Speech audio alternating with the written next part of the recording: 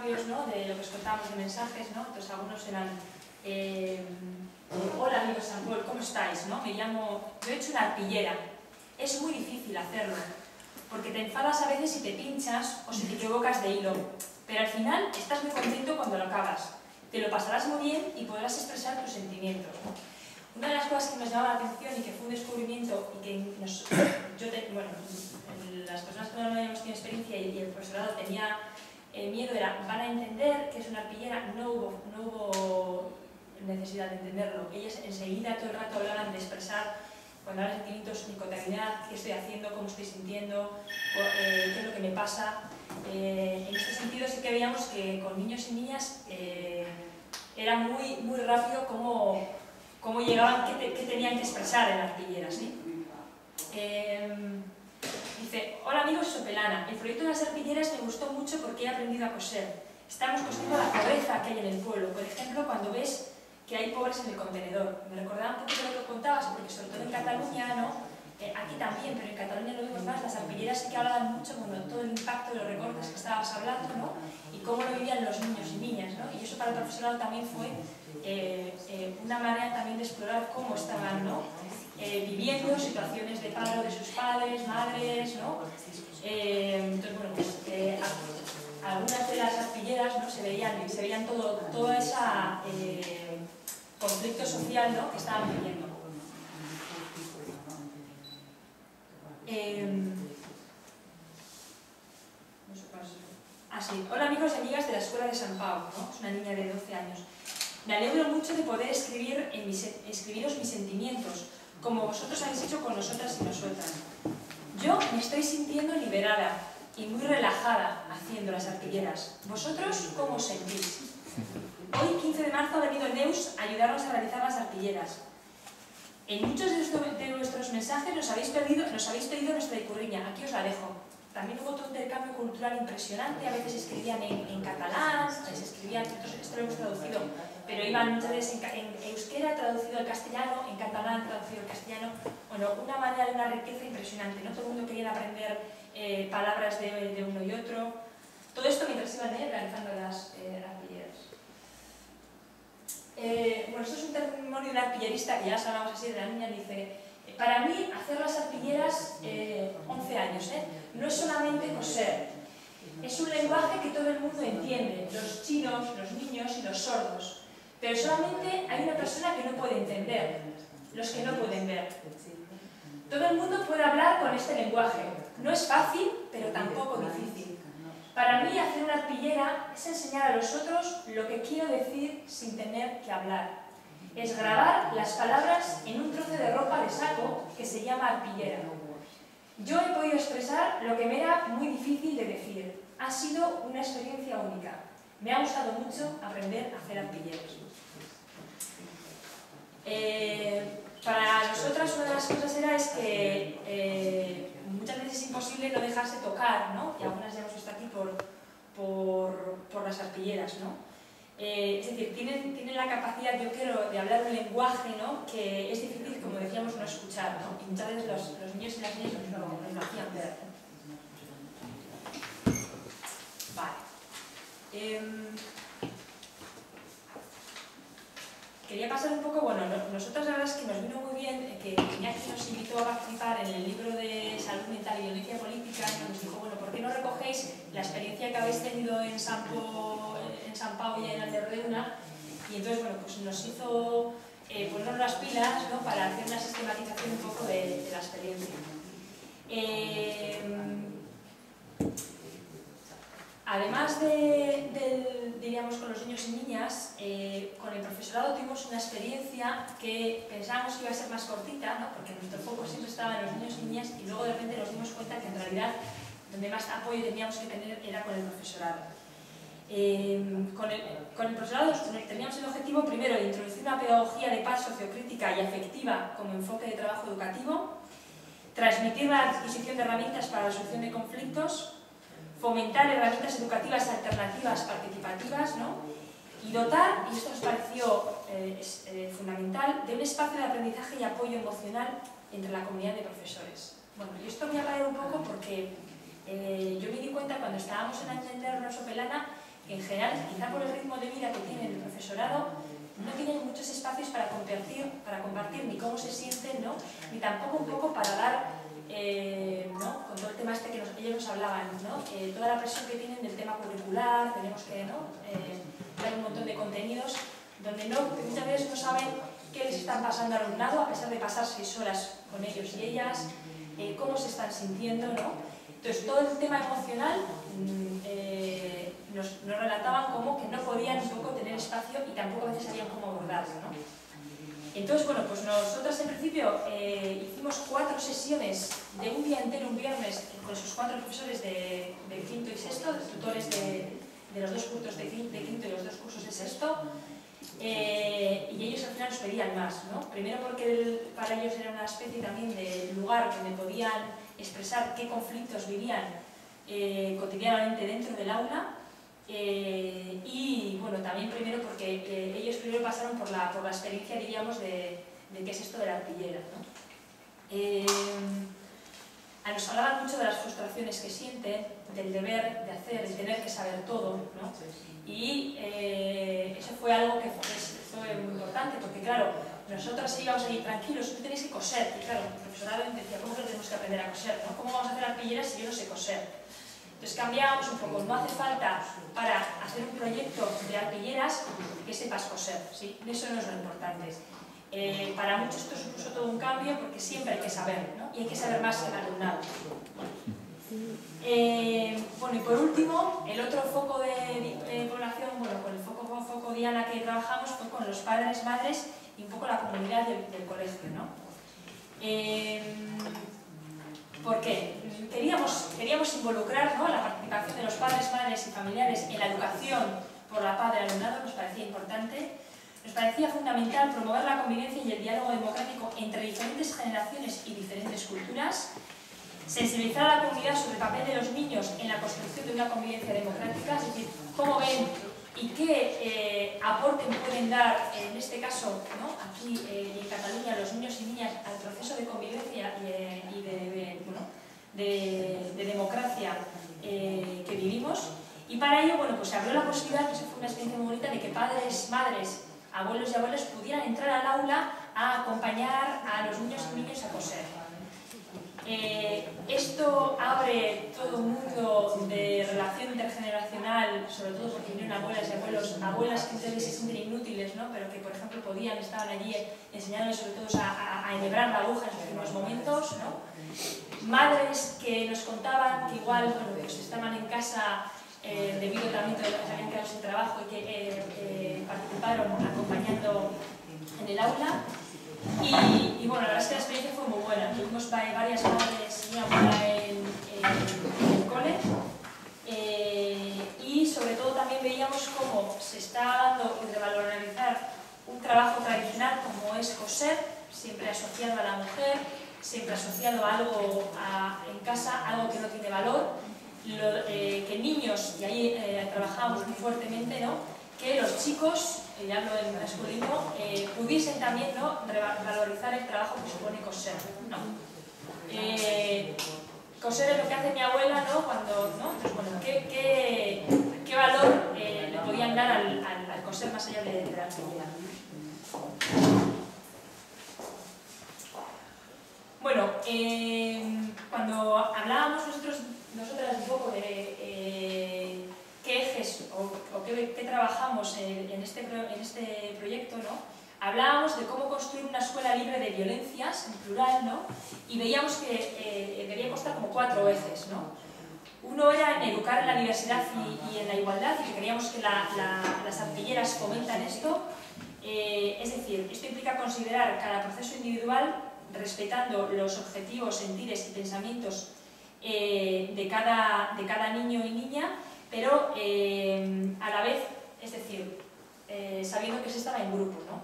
Para muchos y muchas era, yo no sé coser, mm, no voy a poder hacerlo, ¿no? Entonces, ¿cómo vivir esos primeros momentos, ¿no? Del que sí que se anima pronto a coger una aguja y el que no, no se anima, ¿no? Por otra parte, ¿no? atravesar los límites del lenguaje oral y escrito, ¿no? Y crear nuevos códigos expresivos. Esto fue interesante porque, por ejemplo, para, eh, para el profesorado muchas veces veían que no solamente era no tener tiempo para hablar con el alumnado, sino que muchas veces tampoco sabían cómo llegar a, a, ellos, ¿no? a, a verdaderamente cómo saber qué es lo que están sintiendo. ¿no? Hubo una, una niña que eh, nos vino la madre eh, llorando al final, porque bueno, parece que te estaban teniendo bastantes eh, conflictos en casa y la niña llevaba una temporada bueno, pues muy reacia y que no manifestaba ningún tipo de afecto y curiosamente su arpillera era la familia en grande, ¿no? Entonces la madre no tuvo ni que hablar con ella ni nada, la madre vio la arpillera acabada y empezó a llorar, ¿no? y fue una manera de reconectar ¿no? la relación también con la hija. Entonces, bueno, eh, todo este potencial que también veía el profesorado, por supuesto que se asustaron, ¿sí? Eh, eh, ellos no tenían ninguna duda que los niños y los niños iban a hablar, iban a expresar, iban a coser allí sus sentimientos. Una de las cosas que nos decían es, el, el, problema no son los niños y las niñas, el problema son los adultos, ¿cómo vamos a sostener esto? esto nos dio eh, bueno, pues a pie a, reflexionar en que muchas veces los que más tenemos miedo somos los adultos y no, los niños y las niñas. Eh, entonces, bueno, pues eh, una de las cosas que hicimos fue acompañar a, este profesorado, ¿no? Por supuesto que ellos no eran, como se había visto antes, ¿no? ni terapeutas, pero que sí podían sostener ¿no? y acompañar en el proceso de, de, de generar y de crear esa artillera. ¿no? Eh, pero los miedos sobre todo eran emocionales, ¿no? No eran tanto, diríamos, de, de técnica, ¿no? Sino qué va a pasar ¿no? cuando los, los niños y las niñas empiecen a expresar. Y aquí tenemos un testimonio de la profesora que es muy interesante, porque claro, las arpilleras nosotros rompíamos totalmente con el modelo de clase unidireccional, que viene a la pizarra y están todos atendiendo al profesor. Eh, lo que se hacía era eh, la clase, eh, totalmente, las mesas se ponían apartadas, cada niño y cada niña elegía qué lugar quería poseer, podía ser en el suelo, podía ser una mesa, eh, era bonito porque en Sopelana las dos clases de quinto y sexto realizaban a la vez la artillera, entonces las puertas estaban abiertas y en el medio de las entre una clase y otra se dejaban ahí las telas y además los niños traían las telas de sus casas, con lo que también tiene todo el tema de que recoges esas telas que normalmente se usan, que se tiran, ¿no? Incluso también eh, eh, dejamos un espacio muy importante para qué telas querías compartir y dejabas tú en el saco grande que podía cualquier niño y niña eh, coger y qué telas eran significativas y no las querías tú compartir. Y eso fue muy bonito porque muchas veces trajeron, ¿no? Tuvimos de un niño que se había muerto su abuelo y quiso traer una, una parte de una, una, camisa de su abuelo y la, la puso en la arpillera entonces fue muy interesante, ¿no? Cómo trabajar la, la, parte individual, la parte, ¿no? Donde yo quiero proteger y la parte también colectiva de compartir. Entonces, bueno, os traigo este testimonio de la profesora para ver también cómo, eh, a veces también ese caos, ¿no? Y cómo también eh, muchas veces nos contaba ella que el control del aula, ¿no? De esa manera que estamos acostumbrados, pues claro, da menos miedo, ¿no? Ella dice, yo pensaba, madre mía, eh, todo el mundo con agujas, va a ser difícil, pero claro, agujas, ¿no? Niños, ¿no? Como que ya lo único que niños van a empezar aquí a, a pincharse, a pincharle. Seguro que no sabía así. Ha sido una experiencia motivadora e interesante para mí y para los alumnos también. Han estado trabajando hasta el último momento. A menudo preguntaban cuándo volverían a hacer este proyecto. Entre ellos se enseñaban y se compartían las telas. Antes de coser ya tuvimos el intercambio de experiencias, de dónde venían las telas, algunos explicaban que de sus muñecas y trapos que tenían en casa y ya lo utilizaban. La significación de las telas para cada uno y ver que su ropa estaba cosida en otra arpillera de su compañero les impresionaba y les gustaba mucho. Me sorprendió que algunos ya sabían coser y cómo se ayudaban los unos a los otros y era interesante cómo se ayudaban entre ellos. Me ha sorprendido la temática diversa en algunos temas, ¿no? Sus experiencias propias y desconocidas para mí, su profesora, lo que hablábamos, que estoy todos los días con ellos, ¿no? Otros plasmaban inquietudes que nosotros, como adultos, no pensábamos, nos pensábamos que no las teníamos. Vale. Otra cosa que hablábamos es que para nosotras eh, eh, otro eje importante era que las arpilleras permiten educar desde el respeto, desde la equidad y la práctica política. ¿no?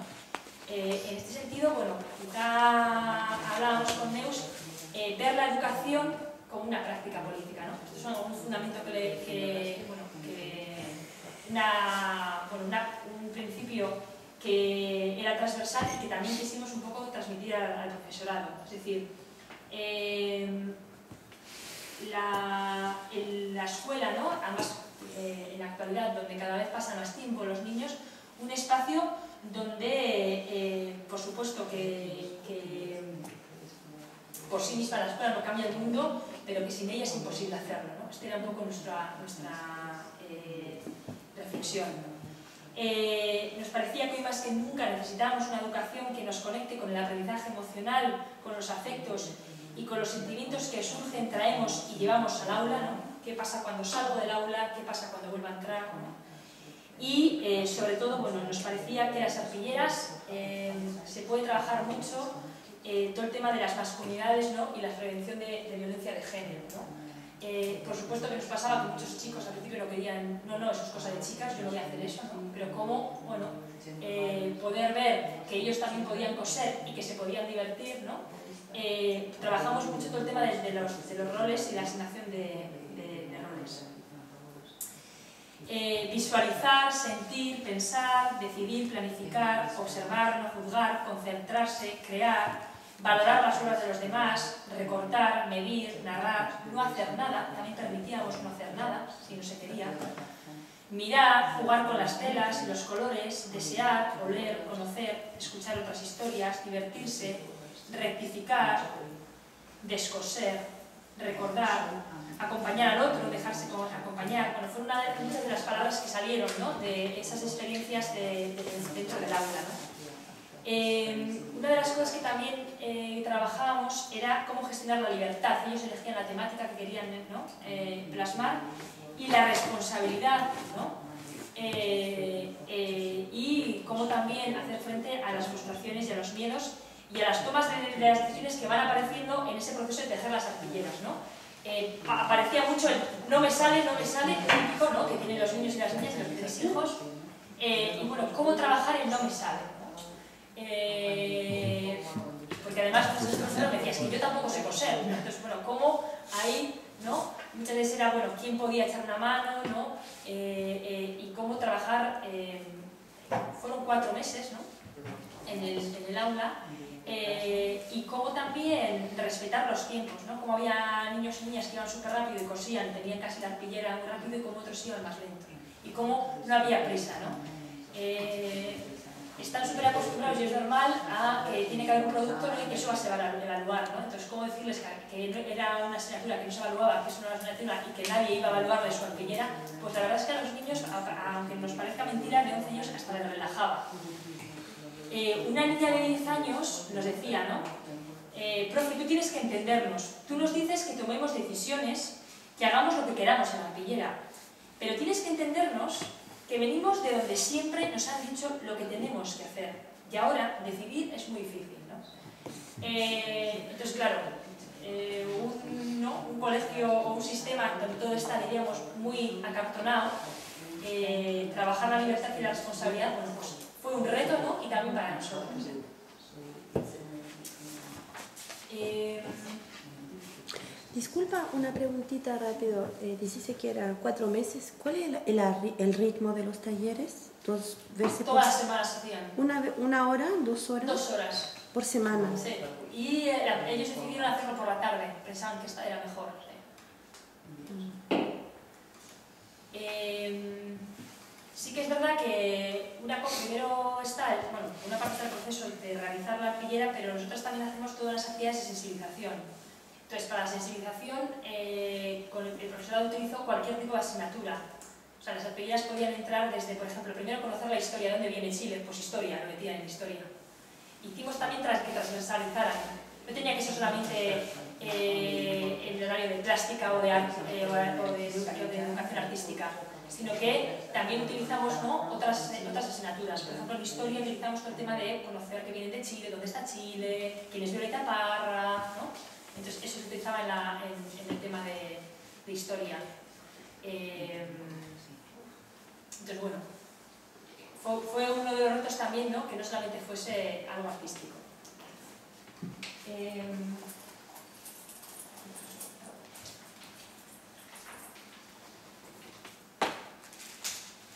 cerrando, me voy, me voy, sí, ¿no? Eh, pues esta es una... Con respecto a Iñaki, que es el último, y, Sí. y luego ya vamos a tener tiempo de decir algo. Traía el testimonio de una mujer que acompañó, eh, ella, ella es, eh, acompañó primero en Cataluña y luego también vino al País Vasco. Su historia es impresionante porque ella es eh, andaluza, es una mujer de 65 años, Pepi, eh, jubilada, eh, que fue de las que en Cataluña ella entró a bueno, ayudar a, a coser. ¿no? Eh, esta fue la segunda arpillera que hizo y que nos la regaló al equipo de Kimen porque eh, ella eh, vive desde hace ya más de 20 años en Cataluña, pero primero estuvo viviendo en Eibar. Y estas- en esta segunda arpillera, y el vídeo lo cuenta, ella eh, puede por primera vez expresar una experiencia que tuvo bueno, y por qué se tuvo que ir de Eibar. No lo sabían los hijos, nunca lo habían hablado, y bueno, pues por qué se tuvo que ir de Eibar tuvo que ver bueno, pues con el conflicto asco. ¿sí? Eh, su marido, si os dais cuenta, trabajaba en la, en la, en Aurrera, que yo creo que ya están cerradas, ¿no? Eh, ella es de Jerez, que lo he contado, te va contando aquí, ¿no? Ella viene de Jerez. Eh, y eh, esta es, ella pudo, es impresionante la arpillera porque pudo encajar los, las tres, pudo encajar Jerez, pudo encajar, San- eh, ahora es- no vive en San Paul de Mar, pero vive cerquita de San Paul de Mar, en un pueblo, que es la costa de Cataluña, y pudo encajar Eibar, ¿sí? O sea, es una pieza que encaja los tres. Y eh, eh, se tuvo que ir, bueno, en el relato, que además también lo contó, y fue la experiencia que contó también en, en la, en la Ikastola, porque bueno, pues el, el miedo ¿no? en, en los años 80 ¿no? de todo el tema de los atentados, ¿no? entonces bueno, pues eh, ese miedo que estaba en, su familia, que no lo pudo nunca decir, ¿no? y que vio de cerca un atentado, pues ella salió, ¿sí? Eh, salió y, se fue. Nunca los hijos nunca lo sabían porque su madre se había de, de, de Ibar, pensaban que el padre pues, había terminado el contrato. Entonces, eh, no solamente fue interesante poder relatarlo, sino que a través de este proyecto pudo volver a Ibar después de 20 años. Entonces, nos visitó y... Eh, he traído dos que utilizamos un poco para la sistematización. Eh, esta es de las de Cataluña, era el momento 2011-2012, bueno, que ahora continúa, ¿no? Todo el tema de la... porque ellos al final eh, expresaban cómo estaban viviéndolo, ¿no? Y aquí eh, a, a todas las pillas acompaña siempre un texto, ¿no? Dicen, eh, las flores, no sé si las veis que hemos puesto en las puntas de la pancarta de la manifestación, significan algo muy importante. Queremos paz y no queremos pelear con España. No queremos guerras ni muertes. Queremos respetar y ser respetados también nosotros sin violencia. Queremos ser independientes sin guerra. A mí me gustaría que mucha gente pudiese, ¿no? Ojalá el testimonio de una niña de 12 años. Eh, estudiante de 11 años. Nosotros pensamos que la independencia de Cataluña se daría solo con coser con la arpillera y ya está. Y nos hemos dado cuenta de que es muy difícil conseguirla. Eso nos dicen los adultos. Que no es solo coserla y ya está. Pero estamos contentas de decirlo, de coserlo, de pedirlo. Es una forma de que nos escuchen. Lo dejo ahí, pero vamos, es eh, impresionante. Este es un niño aquí de, de Sopelana que eh, impresionó bastante su arpillera. Primero porque los niños además, por un lado, cuentan su cotidianidad y también lo mezclan con el tema social. Por un lado, el niño, ahí nos cuenta, ahí pone eh, Aitite, había muerto su Aitite, le deja un espacio eh, eh, para coser y le ayudó un poco para el duelo de la, de la muerte de su. Y a la vez, eh, bueno, pues una gran icurriña, ¿sí? Eh, y, y un candado. Sí, tenía aquí, os iba a contar un montón de cosas, pero bueno. Dice, en, él nos contaba, 11 años eh, de su pelana. En mi arpillera hay un candado que está un poco abierto, porque yo quiero que algún día mi país no tenga más el candado cerrado. ¿sí? Eh, lo expresaba así. También es una arpillera que habla sola, ¿sí? no hace falta. Creo que... Entonces, cómo combinan ¿no? dar espacio a su vida cotidianidad, ¿no? a las cosas que le están pasando. Y en el caso también de Sopelana, un niño que padecía de diabetes y que había estado ingresado durante un tiempo, que había faltado al cole, eh, había puesto en, en- en el centro de su arpillera, estaba él en el hospital, eh, y la arpillera sirvió porque el resto de compañeros le impresionaba, impresionaba la arpillera porque era bueno, el hospital y él, ¿no? no sabían que lo había pasado tan mal. Entonces fue una manera de empatizar mucho con, bueno, con la experiencia que había tenido en el hospital en Lima. ¿no? Entonces como la arpillera también ayudó a eh, saber cómo estaban más entre ellos. Y bueno, pues eh, igual, eh, lo dejo ahí, tenía bueno, un testimonio ¿no? de, de Alba Sanfeliu, ¿no? de qué impacto suelen tener las, las, las, las exposiciones luego, ¿no? que también hicimos en Sopelana a nivel de todo el cole y con el profesorado. Eh, entonces, recuerdo el día que fui a la escuela de San Pau, de San Paul de Mar, con motivo de la inauguración de una exposición de arpilleras hecha por los alumnos de sexto de primaria. Me quedé impresionada de la magnitud y dimensión, no solo del acto a celebrar, sino también del proyecto de arpilleras en la escuela y de, lo que todo, y de lo que estaba significando por los protagonistas. En medio de la actual era tecnológica en la que vivimos, es de admirar el retorno al trabajo textil dirigido a las nuevas generaciones por todo lo que conlleva a nivel educativo y por la vida misma. Se dio la posibilidad de que niños pudieran tejer sus propias historias en torno a los temas que los ocupan, como pueden ser historias personales, vividas a nivel individual, con la familia, con los amigos, de lo que hacen, de lo que desean, de lo que les gusta, de lo que sueñan. Hacer artilleras les ha permitido canalizar sus propias emociones, escuchándose a sí mismo y encontrando el tiempo para contar sus historias. A la vez, el trabajo, ha favorecido la empatía, eh, escuchándose mutuamente y conociendo más profundamente entre ellos y ellas, promoviendo la comunicación y el diálogo. Sus historias han sido contadas y compartidas, pero no solo entre ellos y ellas, sino también hacia los profesores, los compañeros de escuela, las familias, los amigos y el público en general. El espacio individual se compartió en un espacio comunitario.